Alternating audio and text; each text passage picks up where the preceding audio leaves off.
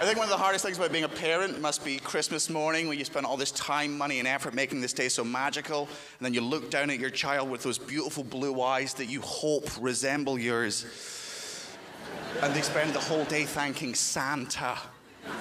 You know that disappointment that parents feel in that moment?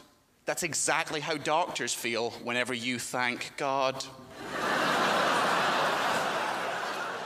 Mr. Darcy, we are delighted to announce that your cancer has gone into remission. Oh, oh, thank the Lord.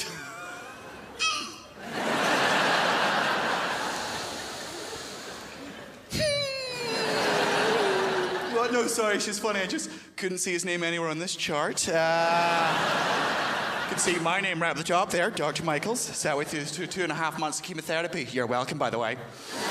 Dr. Connor's over there. She spent six hours cutting a tumor out your lung. Uh, got the names of all the wait staff, all the nurse staff here. Can't seem to find the Lord's name.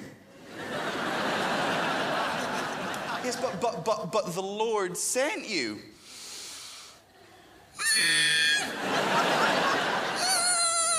I don't think he did. He certainly didn't chip in for that medical degree. Fact, if I remember correctly, you came to me, I diagnosed you, and then I specified the treatment. In fact, if I cast my memory even further back, he's the one that gave you cancer.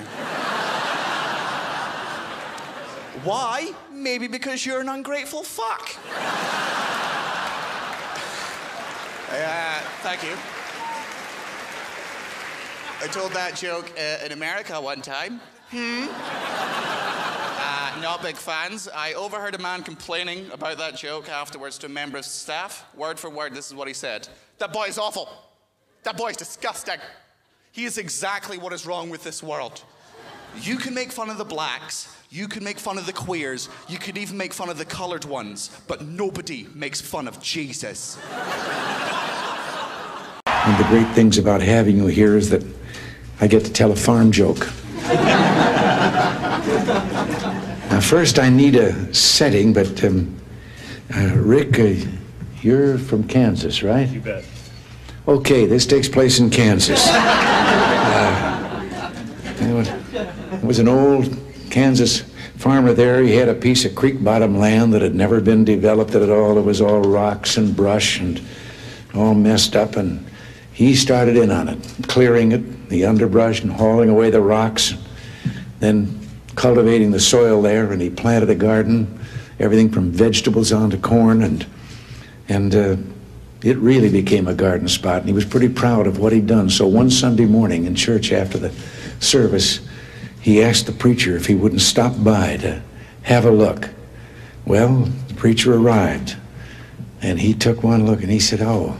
This is wonderful. He said, These are the biggest tomatoes I've, I've ever seen. Praise the Lord.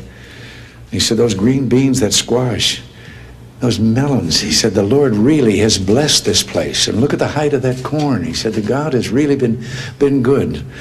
And the old boy was listening to all this, and he was getting more and more fidgety. And finally, he blurted out, Reverend, I wish you could have seen it when the Lord was doing it by himself.